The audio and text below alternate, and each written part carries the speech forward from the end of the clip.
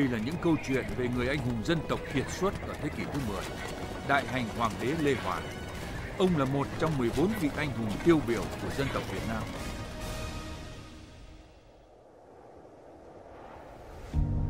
Sách Đại Việt Sử Ký Toàn Thư chép Lê Hoàn mồ côi cả cha lẫn mẹ từ tấm bé, sống rất khổ cực. Đêm lạnh thường nằm ngủ phụ phục để giữ ấm. Nhưng rồng thiêng đã đến che phủ, khiến chỗ ấy hàng đêm sáng rực, mọi người đều kinh ngạc.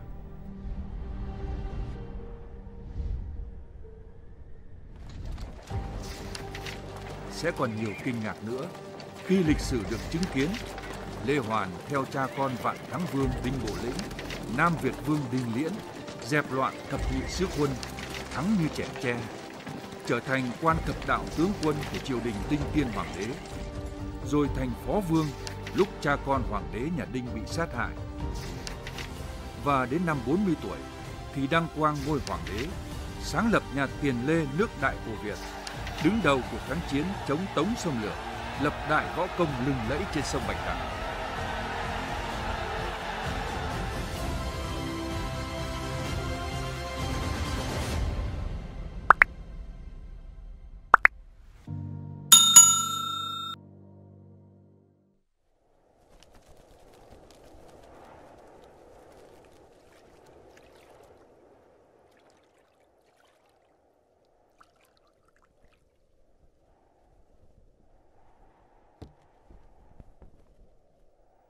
Nam Việt Vương Đinh Liễn. Lê Hoàn tôi, Xin kính huynh một ly rượu.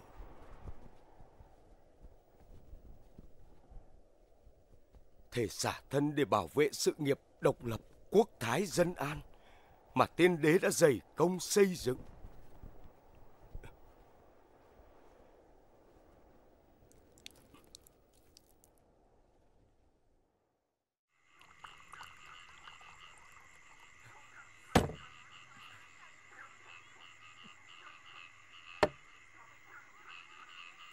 Ta là trường tử. Chinh chiến vào sinh ra tử. Y sứ Bắc Phương Công lao hay khổ lao đều có đủ. Tại sao ngôi thái tử lại thuộc về thằng nhãi hạng lang chứ không phải là ta?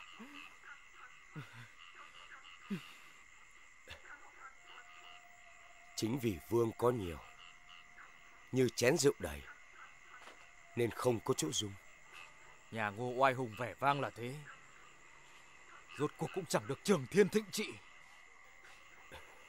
Nhà đinh ta, Liệu có đến được đời con đời cháu? Hay chỉ như sóng nước bạch đằng Cuộn trào mãnh liệt, Rồi nhanh chóng bị thay thế bởi những lớp sóng sau?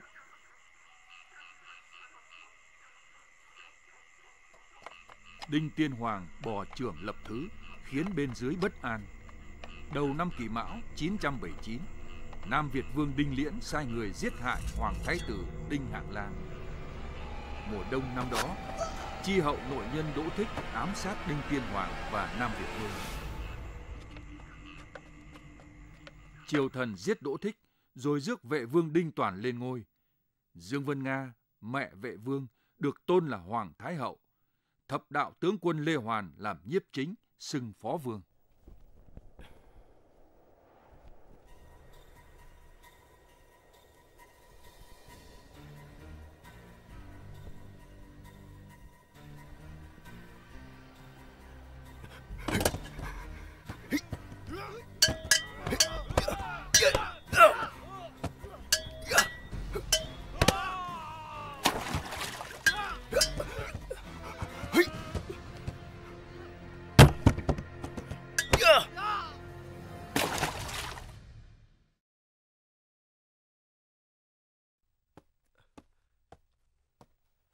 Thưa Phó Vương.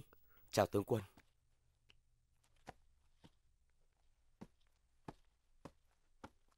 Thần nghe nói Phó Vương bị ám sát. Là do ta chủ quan.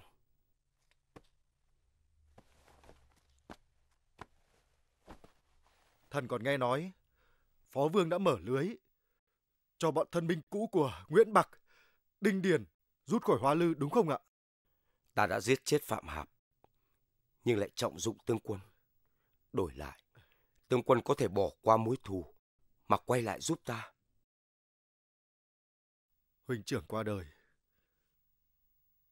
thần cũng đau lòng lắm. Nhưng anh em mỗi người một chí. Dù người đời có nói là thần bất nghĩa, nhưng trước mắt thần chỉ có Giang Sơn. Còn bên tai thần chỉ có những lời của dân, của nước. Ta hiểu tướng quân. Đà tạ phó vương. Mời.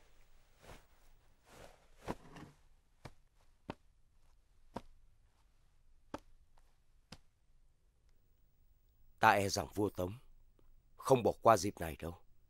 Dạ.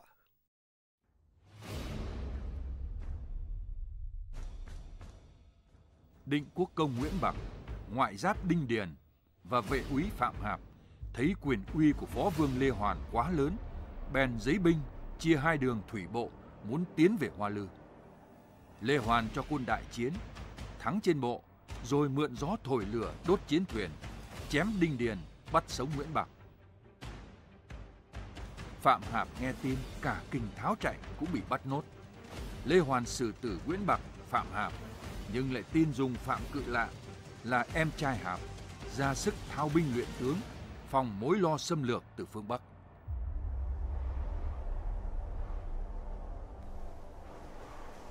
Tống Thái Tông nghe lời tể tướng Đư Đa Tốn, sai Chi Châu Ung là hầu nhân bảo, ngầm đem quân kinh hồ tới sát biên giới nước Nam. Hầu Nhân Bảo, dòng dõi danh tướng, họ hàng với triệu phổ tể tướng thời Tống Thái Tổ. Người này văn võ toàn tài, nhưng thích nhàn tản rong chơi, nên không hợp với đương kim tể tướng Đư Đa Tốn, bị điều tới Ung Châu. Vẫn khao khát một cơ hội lập công để trở lại kinh thành.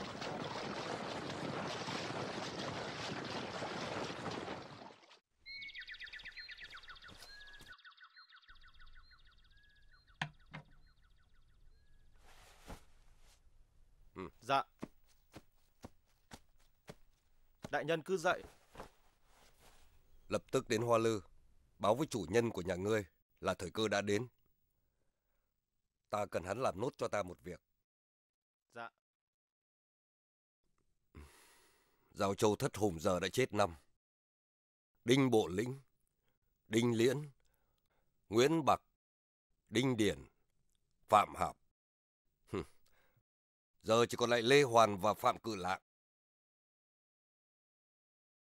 Về nói với chủ nhân của nhà ngươi làm cho tốt. Sau này khi quân ta tiến vào Giao Châu, chức tiết độ sứ, chắc chắn sẽ không thoát khỏi tay hắn.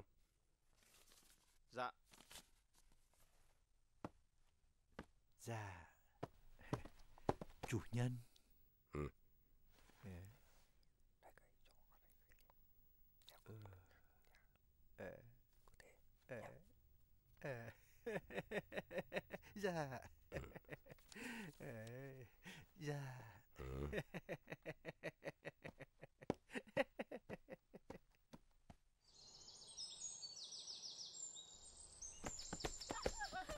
Dừng lại Ta không dừng Bắt ta đi Ta không dừng Phó vương quyền ngang sân triều trong khi hoàng thượng còn quá nhỏ. Ngươi có biết Ngươi vừa nói gì không? Muôn tâu thần nguyện óc lầy đất xin nói lời ngay thẳng. Thái hậu nên tính trước thì hơn.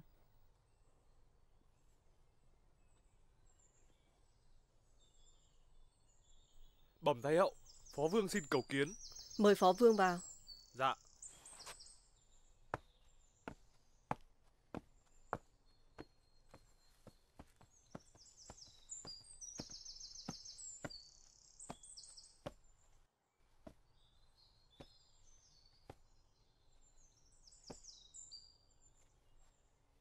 Muôn tâu Thái Hậu, ngựa chạm từ Biện Kinh chạy ngày đêm về Ung Châu, mang theo thánh chỉ của Tống Hưng Quốc Hoàng đế. Ngay sau đó, tri Ung Châu là hầu nhân bảo, đã chiêu binh mãi mã, dồn tích lương thảo, Liêm Châu, Khâm Châu cũng thấy dục dịch. Tam Châu Ung Liêm Khâm nằm sát biên giới, tạo thế ỷ dốc là căn cứ quan trọng đưa quân thủy bộ tiến vào nước ta. Thần đồ rằng ngay trong mùa thu này giặc sẽ sang thôi. Vậy bây giờ phải làm sao? Muôn tàu Thái Hậu, nước lên thì đất ngăn, bình tới, ắt có tướng chặn. Vậy nhờ phó vương tính sớm cho. Thần xin trực tiếp lãnh binh quyền, quyết thư hùng một trận với quân phương Bắc. Xin phong, điện tiền, chỉ huy, phạm cự lạc làm đại tướng tiên phong. Hồng Hiếu, tuy không phải nam nhân, nhưng tài đức vẹn toàn, xin giao làm giám thủ, giúp bệ hạ giữ hoàng thành. Còn đại sư Khuông Việt, sẵn ngôi quốc sư, xin chuyển làm quân sư. Được. Cứ theo ý của phó vương đi. Đa tạ Hoàng Thái Hậu.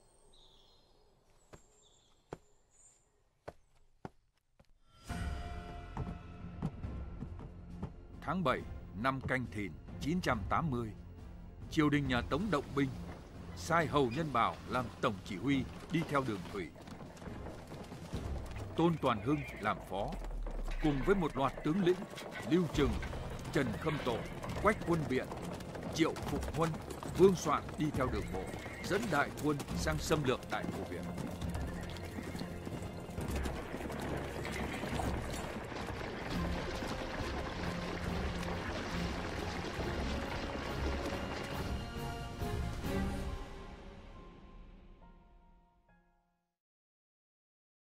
Thế giặc mạnh. Quan nải khó chống đỡ.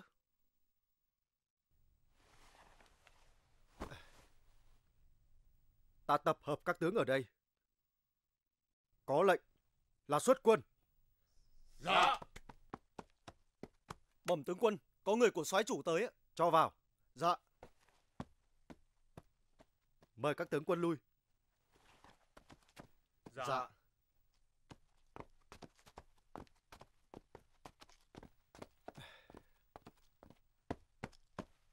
Bẩm tướng quân, tình hình bất lợi, soái chủ có mật thư. Hả? Trong cung sinh biến, nguyên soái muốn tướng quân làm gấp một việc. Xin dâng mật thư. ngươi đưa đây.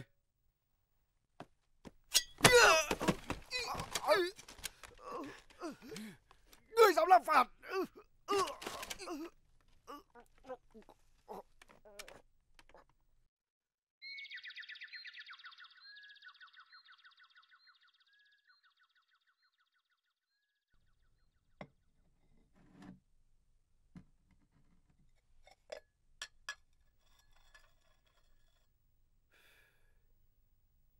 Thái hậu lo không chống đỡ nổi.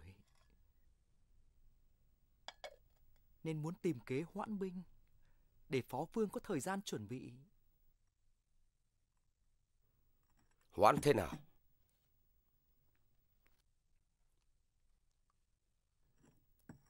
Bẩm, học theo tiên đế. Cử người đi sứ, cầu hòa.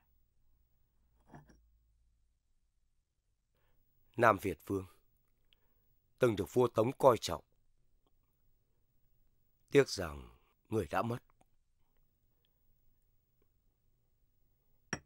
Để ta tính xem. Sẽ cử ai đi.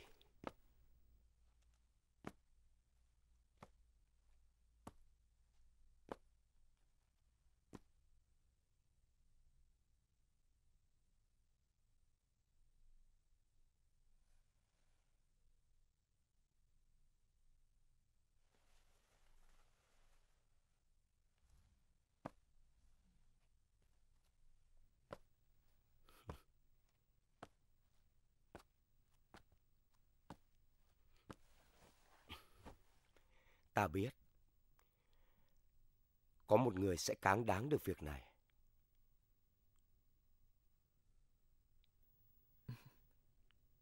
Mong phó vương chỉ dạy.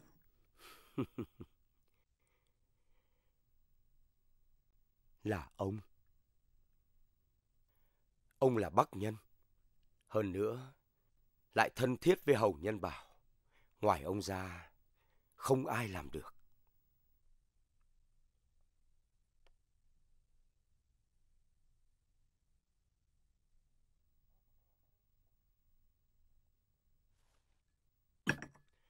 Người đâu?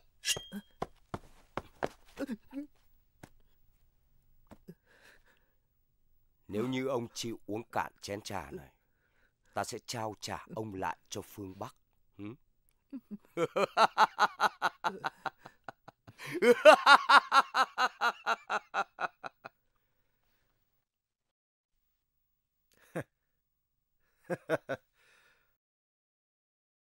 Ta giết ngươi. Khác gì? Giết con sâu cái kiến. Ngươi dám làm phản Ngươi mới là kẻ phản bội cha anh Đi theo kẻ giết chúa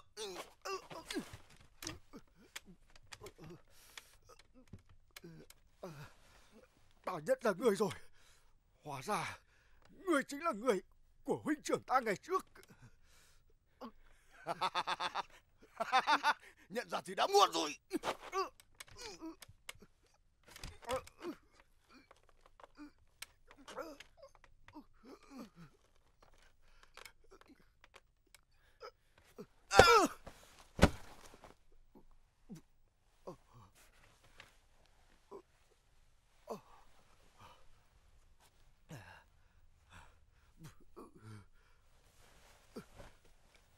người có biết con dao của ngươi đã đâm vào thứ gì không?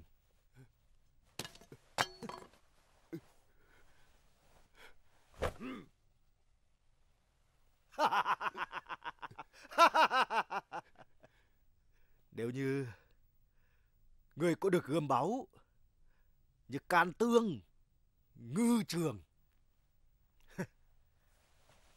Có lẽ tính mạng của ta đã bỏ. Khi tới đây Ta đã quyết liều chết Muốn chết muốn giết Cứ việc Ta muốn giết người, Khác gì giết con sâu cái kiến. Thả hắn ra.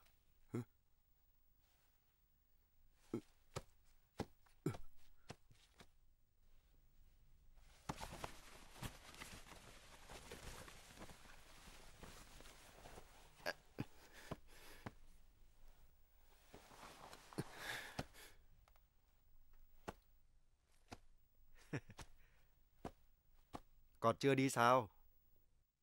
Ông không sợ tôi sẽ quay lại à? Còn muốn quay lại? Thì cứ ở lại đây luôn đi. Đúng là giả nhân giả nghĩa Mang hắn xuống dưới. Cấp áo mũ và binh khí. Đưa vào đội tiên phong. Ông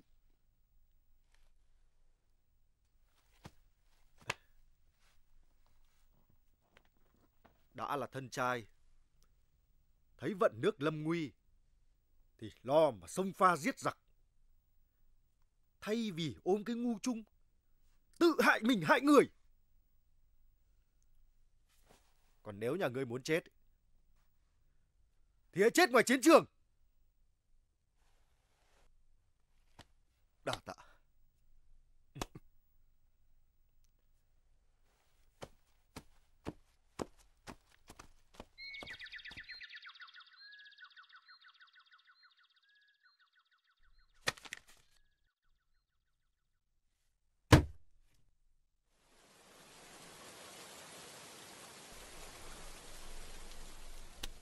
Muôn tâu bệ hạ, quan nội thần Đỗ Mông, vốn là người gốc phương Bắc, đã thông đồng với Chi Ung Châu là hầu nhân bảo, nhằm hãm hại các trung thần, khuynh đảo triều chính, nước đại cô Việt ta. Kính xin bệ hạ cho xử tử để làm gương cho kẻ khác.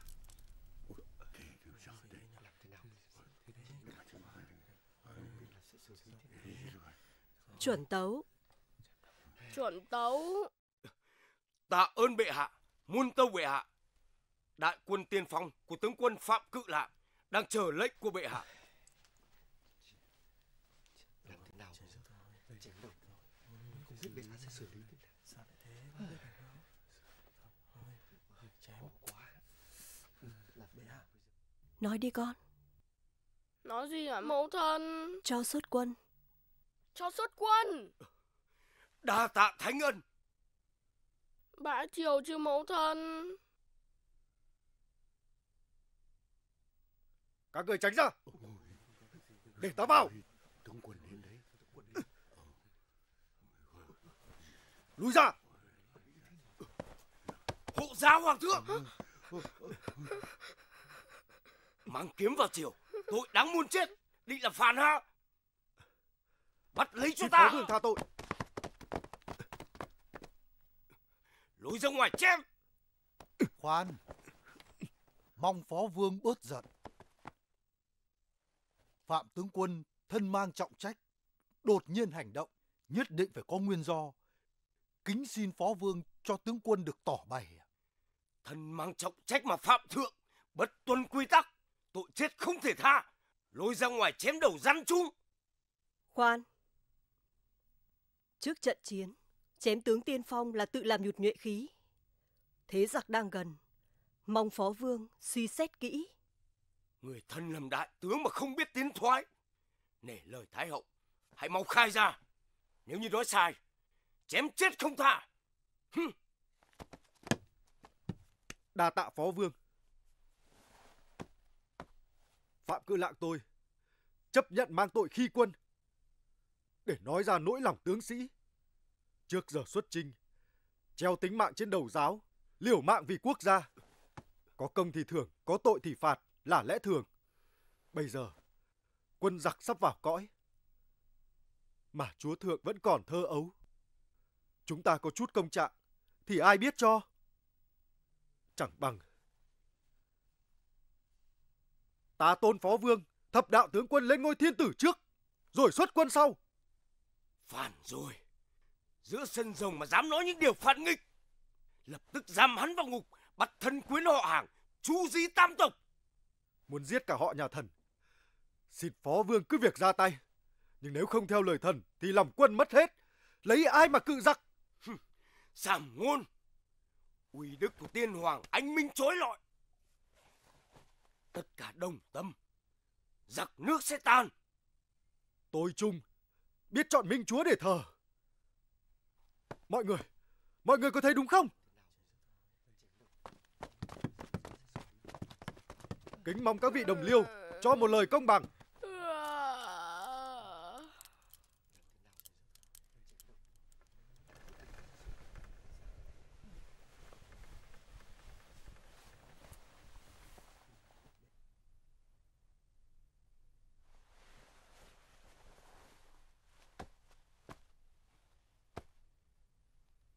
Mang long cồn của tiên đế ra đây.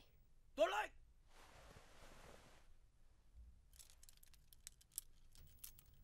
Con mệt rồi. Vào trong nghỉ đi.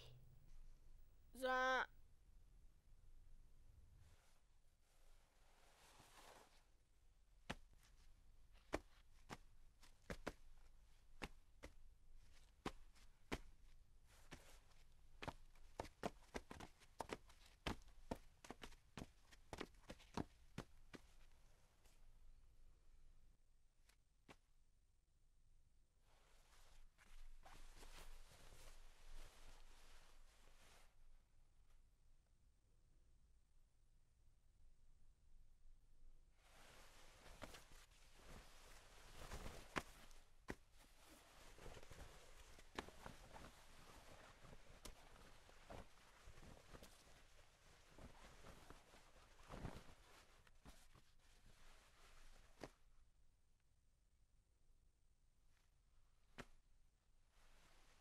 Mời người lên ngôi báu, nước đại cổ Việt.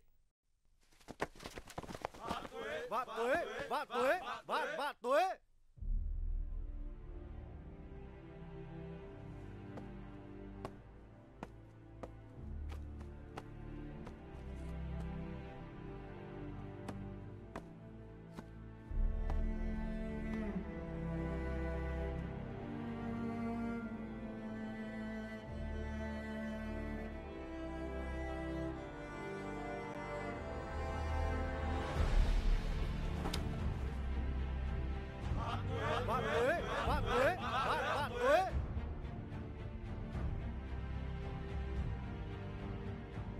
Năm 980, Lê Hoàn lên ngôi hoàng đế, đổi niên hiệu là Thiên Phúc năm đầu, giáng Đinh Đế Toàn làm vệ vương. Biết tin vua Tống xuống chiếu đem quân sang xâm lược, lại sai Lư Đa Tốn thảo thư sang dụ hạ, Trong đó có viết: Nay ta đang chỉnh đốn xe cộ, quân lính, truyền hiệu lệnh chiêng trống. Nếu chịu theo giáo hóa, ta sẽ tha tội cho. Nếu trái mệnh, ta sẽ sai quân đánh. Theo hay chống, lành hay dữ tự người xét lấy. Họ đinh truyền nối ba đời, chấm muốn cho Toàn làm thống soái Khanh làm phó. Nếu Toàn tướng tài chẳng có, vẫn còn trẻ con, thì bảo cả mẫu tử cùng thân thuộc sang quy phục. Đợi khi họ vào chầu, Khanh sẽ có điển lệ ưu đãi và sẽ trao cờ khánh tiết cho Khanh. Nay có hai đường, Khanh nên chọn một.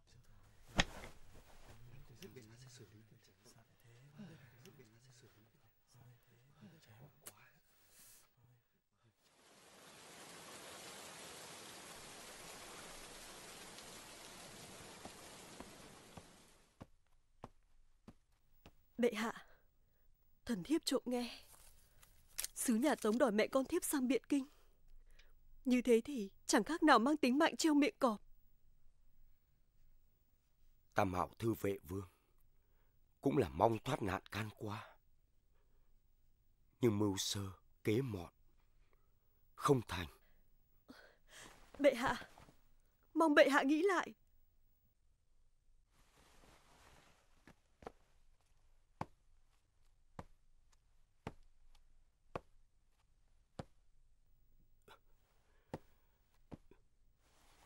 Đứng dậy đi.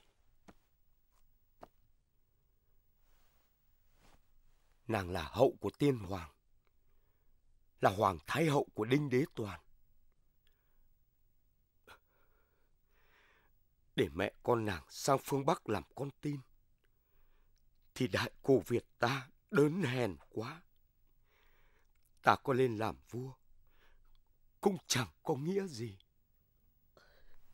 Đa tạ bệ hạ.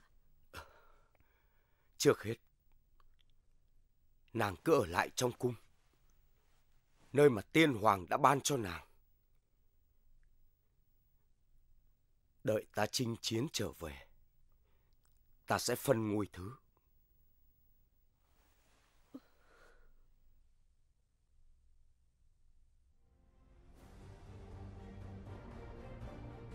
Giặc phương Bắc tham lam xảo quyệt chưa bao giờ thôi động can qua. Dân nam ta ngàn đời kiệt hiệt, hào hùng. Các đấng tiên vương, tiên đế, hùng, trưng, lý, ngô đã từng đánh cho quân xâm lăng phải thất điên bát đảo. Nay ta tự phong mình làm tướng, thống soái ba quân, quyết dẹp giặc hung, báo ân tiên tổ